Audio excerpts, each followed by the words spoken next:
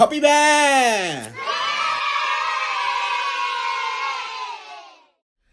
สวัสดีครับ เจอกันอีกแล้วนะครับกับ Hobby b e a ช่องที่จะมารีวิวของเล่นทั้งไม่เก่าหรือที่น่าสนใจ ที่ผมเล่นคุณเล่น หรือใครๆก็เล่น อากาศเริ่มเย็นอีกแล้วครับ เปลี่ยนแปลงนะฮะ เปลี่ยนแปลงอีกแล้ว ผมก็เริ่มเสียงเป็นเป็ดอีกแล้วนะครับ ก็ต้องขออภัยด้วยนะครับ ถ้าเสียงไม่แปดหลอดเหมือนอย่างที่เคยๆมานะครับ วันนี้ผมจะมารีวิวงาน SD ตัวหนึ่งที่เป็น Talk of the Town อยู่ตอนนี้นะครับ นั่นก็คือ จันจันจัน SDEX Gundam Ariel ครับน้องออกมาแล้วนะครับ บอกเลยว่าแย่งชิงกันอย่างโหดพอสมควรนะครับสำหรับ SDEX Gundam Ariel ตัวนี้นะจากที่ได้ดูแผงมานะครับ ก็จัดว่าดีอ่าจัดว่าดีเลยนะสำหรับ SDEX น้อง Ariel ตัวนี้นะครับ เมื่อประกอบเสร็จแล้วน้องก็จะหน้าตาเป็นแบบนี้นะครับ ส่วนลูกเล่นของตัวน้องจุดขยับก็คิดว่าน่าจะขยับได้ในระดับหนึ่งนะครับ ส่วนตัวโล่ไม่สามารถแตกออกเป็นเหมือนงาน High Grade ได้นะฮะ แล้วก็เอาปืนกับโล่มารวมกัน อ่า แล้วเอาไปเล่นกับงาน High Grade ได้อีกเหมือนกันนะครับ ในส่วนปืนกับโล่นะครับนี่เอาเป็นว่าเดี๋ยวเราไปเปิดกล่องน้องแอเรียลดูงานดูพลาสติกข้างในกันดีกว่า นะครับว่าจะเป็นยังไงไปไปเปิดกล่องกันเลยครับเอาละครับมาเรามาเปิดกล่องน้องแอเรียลกันเลยดีกว่านะครับ ว่างานข้างในเป็นยังไงบ้าง ถุงแรกที่เราเจอนะครับ ก็จะเจอแผงจอยข้อต่อนะครับจอย PVC นะนี่ด้านหลังก็จะเป็นปืนอ่าเป็นหมัดนะครับเป็นข้อต่อนะฮะอยู่ตรงนี้นะ เห็นไหมอะดูด้านหลังดีกว่านี่เห็นไหมก็จะเป็นข้อต่อเป็นหมัดเป็นปืนนะฮะ แล้วก็เป็นที่จับของโร่นะครับเห็นถุงนี้แล้วถอนหายใจเลยอะเอออะถุงถัดมาถุงสุดท้ายนะครับ ครับ ครับ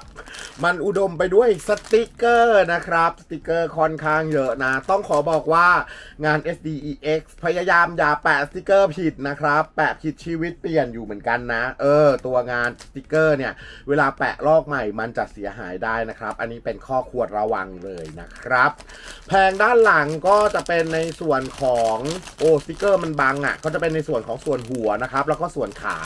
ต้องขอบอกว่างาน SDEX แอเรียลตัวนี้จัดว่าดีอย่างหนึ่งตรงที่ว่า ขามันไม่เป็นรูแก เออ มันเป็นสองชิ้นประกบกันแบบนี้ อ่า จัดว่าดีมากๆเลยนะครับสำหรับ SDEX น้อง Ariel นะครับ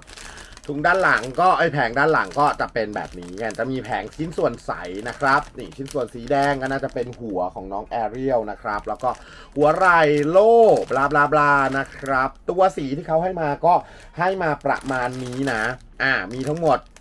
3 4สีนะครับ ก็ทำใจครับที่ต้องแปะสติกเกอร์เยอะแบบนี้นะครับ บอกเลยว่าประกอบน้องแอเรียลเนี่ย แป๊บๆ ก็เสร็จแต่เสียเวลาคือการแปะสติกเกอร์ของน้องแอเรียลนะครับ แต่ก็อะ โอเคนะราคาขนาดนี้ได้ขนาดนี้ผมก็ว่าโอเคนะครับ เมื่อประกอบเสร็จแล้วแปะสติกเกอร์เสร็จแล้วก็จะออกมาประมาณนี้ นี่ artwork หน้าเล่มสวยนะ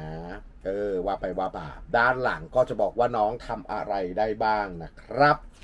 มานับแผงกันเลย แผงมีทั้งหมด 1 2 3 4 สติกเกอร์ 1 แผงครับ 4 แผงสติกเกอร์ 1 แผงนะครับ ก็ดูจากคู่มือแล้วก็แปะสติกเกอร์แบบยับยับครับ ก็เอออืม นั่นแหละ พูดไม่ออกจริงนะพอเห็นแบบปุ๊บขั้นตอนแรกเปิดมาขั้นตอนแรกก็แปะสติกเกอร์ ขั้นตอนที่ 2 ก็แปะสติกเกอร์อะขั้นตอน 3 แปะสติกเกอร์4แปะสติกเกอร์5แปะสติกเกอร์6แปะสติกเกอร์7แปะสติกเกอร์นะครับแปะสติกเกอร์ ยันขั้นตอนสุดท้ายขั้นตอนที่ 9 เลย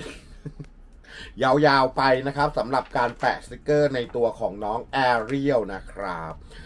วิธีการประกอบก็ไม่น่าจะยุ่งยากอะไรนะครับ เพราะว่าเป็น SDEX นะฮะ ประกอบง่ายอยู่แล้วนะ ก็เอาเป็นว่าเดี๋ยวผมไปประกอบน้อง Ariel ให้เสร็จเป็นตัวแล้วมาดูกันดีกว่านะครับว่าจะเป็นยังไงไปไปประกอบกันเลยครับตาตาดาตาดา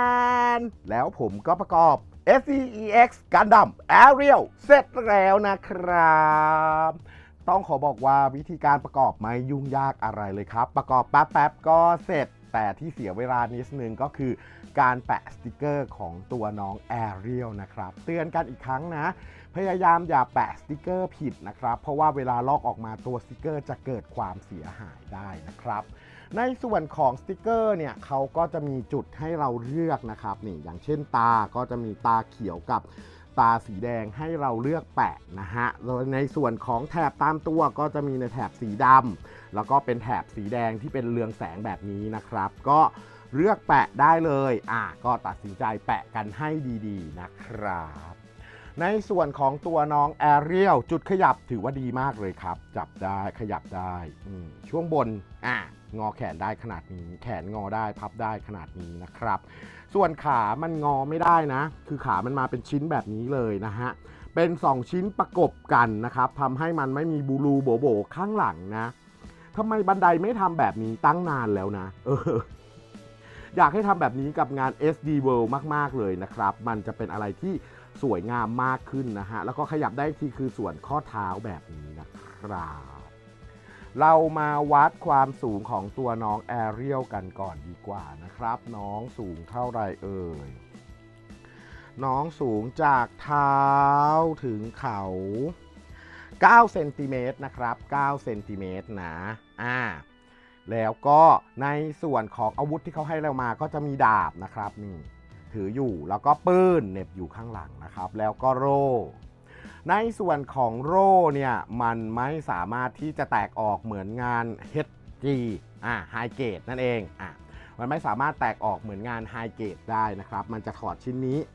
นี่สิ้นชิ้นสีน้ำเงินได้อย่างเดียวที่เอามาจุ๊บตรงหัวไหล่นะครับ นอกจากนี้ลูกเล่นของโล่ก็คือ การเอาดาบกับปืนมารวมกันนะครับ ก็ถอดปืนออก ถอดดาบออกนะครับอ่าวิธีการรวมเนี่ย ดาบนะครับ ตรงนี้มันจะมีเดือยอยู่นะฮะและดาบด้ามดาบมันก็จะมีรูอยู่เห็นไหมก็เอาเดือยกับดาบรูเอ้ยเลื่อยกับรูเฮ้ยเดือยกับรูของดาบมาเสียบแบบนี้นะครับ แล้วก็ปืนก็จะมีเดือยอยู่นะครับ ก็เอาปืนมาเสียบนะครับแสดงเรียบร้อยก็จะเป็นดาบโล่ปืนแบบนี้นะฮะ ไม่รู้จะเรียกอะไรดี เป็นแบบนี้นะครับ เราก็จะเอาชิ้นนี้ไปให้ตัวงาน High Grade กันดั้มตัวอื่นถือได้นะครับ หรือจะให้น้องแอเรียลถือก็ได้ นี่ก็ขยับรูขึ้นมาจึงๆๆแบบนี้อ่าก็จะให้น้องแอเรียลถือแบบนี้ก็ได้นะครับ จัดว่าเป็น SDEX ที่ดีมากๆเลยนะ ราคาคุ้มค่าคุ้มราคาของค่าตัวน้องจริง ๆ นะครับ ใครที่ยังไม่ได้ไปก็รอรอตลีนะครับ ส่วนใครที่ได้ไปแล้วก็เอาน้องมาต่อเถอะ อย่าดองน้องนานเด้อ เออ อะ เอาเป็นว่าเดี๋ยวผมไปจับน้องแอเรียลถ่ายรูปแล้วมาดูกันดีกว่านะครับ ว่าจะเป็นยังไง ไปะไปดูกันเลยครับ